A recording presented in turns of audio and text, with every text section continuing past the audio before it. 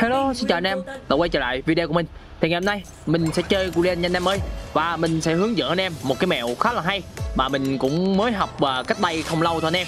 Thì khi mà anh em gặp tem bên kia Bích những cái con tướng như là Alistair Thì anh em phải khắc chế nó như thế nào Thì riêng về bản thân mình nha anh em.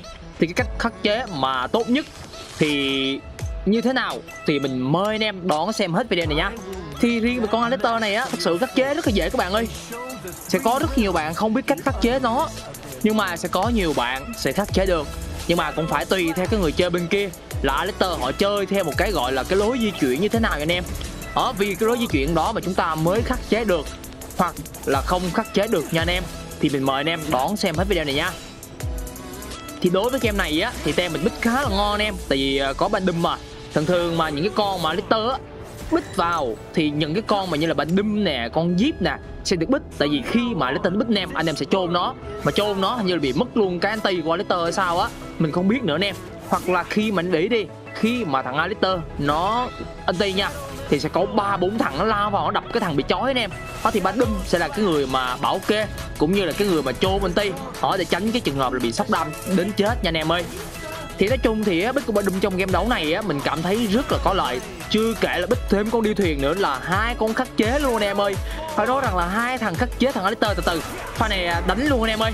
Bắt cho mình là vị trí Alistair rồi, nhưng mà pha này là bỏ một nhịp nha anh em. Tại vì tem bạn à, có vẻ như là máu khá nhiều anh em, nên đầu game sốc đam có vẻ như là combo đam mấy với lại chưa kể là bên bạn à, có Alistair nữa, nên khá là khó chịu. Nó đặt cái kia ra, coi như nó chạy luôn rồi anh em ơi sau đây từ từ nè bình tĩnh nè từ từ nè. Em mình sẽ đợi khi mà thằng kia nó qua mình sóc thằng kia anh em. Thằng Leicester thì anh em không nên sóc nha. Nó sẽ bò mà sóc nó chia anh em đấy. Cứ đè đầu những thằng này mà nên bắt cho mình. Đó thì uh, riêng về cái con mà gì ta Erin mùa này anh em mình cảm thấy nó bị yếu đi rồi. Thực sự bị yếu đi rồi anh em ơi. Nó không còn mạnh nữa. Thì thật sự là nếu như mà anh em nào mà thật sự là có ý định leo rank thì mình khuyên anh em thật lòng mà đừng nên bích Erin đi bích anh em ơi. Nó yếu lắm ê ê ê ê, cha nội này, làm gì ba? Bình tĩnh ba ơi. Lụm cho mình là con rồng nha anh em. Đấy phải là đụng rồng trước. Ê, chuối này em ơi. Đây rồi, ngon. Một mạng đầu tiên của mình. Từ từ em ơi. Vào luôn em ơi. Đúng rồi, hết. Rồi, ok, hai mạng anh em ơi, ngon ngơ luôn kìa. Ê, được được nha anh em ơi. Pha này, bắt cho mình đó là vị trí của Erin trước nha. Pha này bỏ từ từ em, đây lụm nè, một nè, rồi xong rồi anh em ơi, qua ra kêu. Phải nói rằng là cái tay mình nó nhanh cực kỳ anh em nào á, mà coi mình từ cái thỏa mà mình bắt đầu mình chơi Gulen nữa thì anh em biết được cái điểm mạnh của mình nữa, là cái tay mình nó thao tác khá là nhanh. Đó thì mình à, cái này mình dám khẳng định luôn nha anh em, thì cái tay mình nó khá là nhanh. Nên anh em mà một khi mà anh em chơi những cái con mà như là Willen nè, hay là những cái con mà cần thao tác nhanh á, thì cái tay anh em mà nhanh á, thì anh em cũng là một cái lợi thế. Thì có rất nhiều bạn hỏi mình tại sao mà mấy bạn vào đánh đánh đánh hoài không lên. Thì mình có vào mình cày cho mấy bạn đó, mình có xem lịch sử đấu thì thực sự là mình thấy các bạn khá là phế. Và đa số phế ở đây á, mình nghĩ là thứ nhất các bạn bích tướng á, là tem các bạn bích tướng thua kèo. Thứ hai là có thể các bạn di chuyển không được tốt. Thứ ba là có thể do buôn ngọc cũng như là bu đồ của các bạn. Ê ê, từ từ luôn em ơi. Thì sẵn tiện đây. Ở chỗ chuối kìa, pha này mà còn chưa hai nữa thì thôi chứ lụm luôn cái mạng của Erin rồi em. Thì dạo gần đây mình thấy con đi thuyền này nó đang hót lên hay sao ấy? Từ từ anh em ơi, trước khi nói về điêu thuyền mình sẽ bắt trước cho mình đó, thằng hai t nào đây à mày mày chạy đâu mày ơi? Cái thằng này, ôi trời ơi thiệt tí nữa là lụm cái màn của thằng hai t rồi. Mà pha này à, cũng rất là may sao đi thuyền còn cái đánh kia anh em. Đó thì mày ra mới ăn được, chứ không thôi thì không ăn được thì cũng, mình cũng chả ăn được anh em ơi. Thì giờ đây mình thấy con đi thuyền nó đang hot lên rất là nhiều. Thì anh em leo lên cao thì đặc biệt nhớ lưu ý, con này nha. Một là nên cấm hai là khỏi anh em ơi. Ad ơi! Trời, má chịu ad luôn anh em ơi, thiệt. Lạy ad luôn á pha này tí nữa mình chết nè, đó. Anh em thấy không? Rất là may sao còn chấm máu vẫn chưa chết. Và pha này không hiểu lý do tại sao mà ông nội ad ông không thấy mình bị chói sao á. Không hề lao lên đánh, không hề xả chiêu, xả gì hết. Cứ thế mà đứng farm thôi. Đây nè, bắt bắt chiếc hai cho tê nè. Á trời trời ơi, nó tóc biến nữa anh em ơi. Ơ phải, nó ti, mà kèm theo tóc biến nữa. Chịu. Pha này thật sự là thằng 2 t đầu tư rất là nhiều cái combo để nó chạy nha anh em. Mình thấy như thế thì ờ, cũng đáng thôi. Tại vì một mạng rất là quan trọng mà anh em ơi mà sao Yuka lại thua kèo uh, ông à, uh, Elan thì đố anh em biết tại sao luôn. Anh em nào biết thì nhớ comment xuống bên dưới nha anh em. Ở mình đố anh em nha. Thì riêng bản thân mình á mình dám khẳng định luôn em. Mình đi kèo với Elan mình chắc chắn không thua được. Bởi vì anh em biết tại sao mình nói thì như thế không? Tại vì á anh em phải hiểu cái chất tướng. Thì anh em mới chơi game gọi là chúng ta sẽ chơi game tốt được. Đặc biệt con Elen á anh em nó bị bỏ đi là cá anti gọi là bị à, khống chế lại rồi là giữ chân cầm chân anh em có thì không hiểu lý do tại sao mà cha nội Yuka cơm combo cơ động rất là nhiều mà lại thua. Con Elen thì điều này quá là vô lý anh em trừ khi ông đánh tay đôi anh em. Đứng mà đánh tay đôi á là con Helen nó chém anh em cục vàng là nát người luôn. Còn anh em mà muốn ăn con những cái con mà như là Helen nè à, con Allen nè con Florentino hay là con Rioma hay là con Omen thì những cái con như thế anh em không nên đánh tay đôi. Anh em chỉ nên cấu máu cho mình thôi. Anh em cấu máu càng nhiều càng tốt. Đó. Xong rồi anh em chỉ dứt điểm. Người ta đánh hơn nhau lần việc cấu máu anh em ơi. Bỏ bạn ơi. Trời ơi, cái gì mà đánh căng thế? Trời, anh em đúng không? Đúng là đánh cao đánh có khác. Thì hôm bữa thì có bạn bảo mình á, là William đánh đánh cao chắc không đánh được. Thì thật sự thì cái vấn đề này á, thì cũng đúng một phần anh em, một phần thôi nha. Nhưng mà riêng so với những người chơi khác á, riêng về bản thân mình là chơi nhiều anh em mình chơi vẫn được đặc biệt hiện tại mình đang chơi là mức lanh là 16 sao rồi. Để lý ra là mình phải 17 sao anh em tại vì mình đánh thua. Cay anh em thiệt sáng đánh thua quá cay luôn anh em ơi. Nhưng mà rất là may thì uh, những cái trận trước đó mình có gỡ lại rồi. Thì bây giờ mình đang hiện tại là 16 sao nha. Thì trận này không biết sao. Đây đây đây trời ơi chuối anh em ơi. Trời ơi một mạng hai mạng rồi anh em không? Phải nói rằng là cái tay mình nó nhanh mà cái mức độ KS mình nó cũng lẹ nữa. Thì cái điều này á là một cái thế mạnh của bản thân mình nha anh em thì anh em KS với lại anh em ăn mạng nó sẽ khác nhau nha. Có nhiều ông vào cứ bảo comment, cứ bảo mình là KS nhanh thế anh. Xong rồi mấy ông trong, nội trong game đấu này cũng vậy anh em, trong trận đấu nè. Cứ bảo mình là best KS xong rồi best máng các kiểu.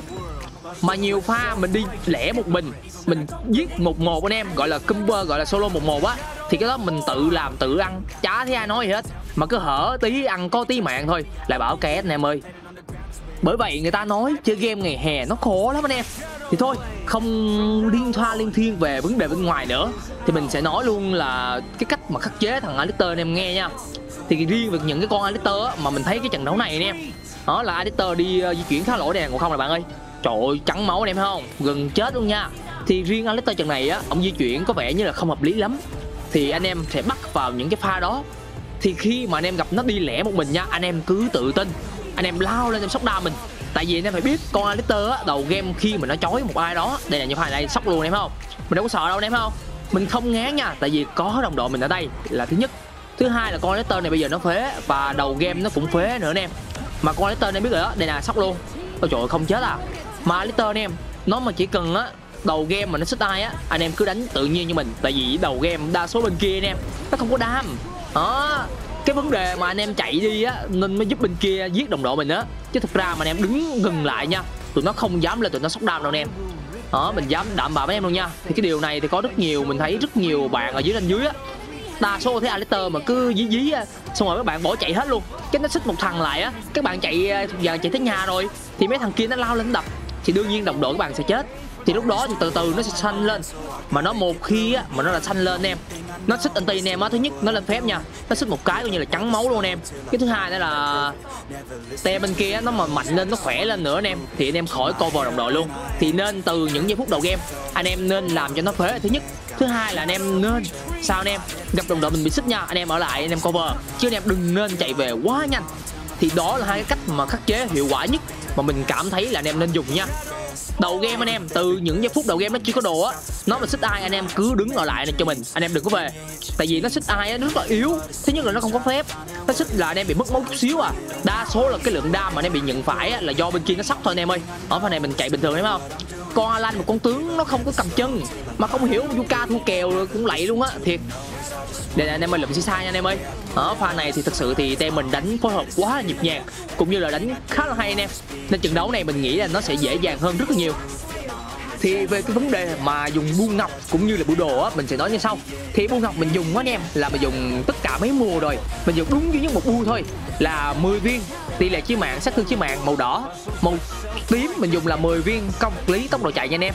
Màu xanh mình dùng là 10 viên. Công lý xuyên giáp đó, thì đó chính là tất cả những gì mà ngọc mình áp dụng trong trận đấu này nha. Cũng như là những trận đấu khác mình vẫn dùng ngọc đó nha anh em ơi. Ê, chuối nè, trời ơi, ngon anh em ơi. Cái này mới gọi là két nha. Đây, cái này là tự làm anh em ơi. Nhưng mà tự làm không biết ăn được không nè sóc luôn nè. Nó quay lưng nè. Rồi, ơi, pha này tí nữa, toàn anh em ơi. Thiệt chứ, pha này tí chết nha.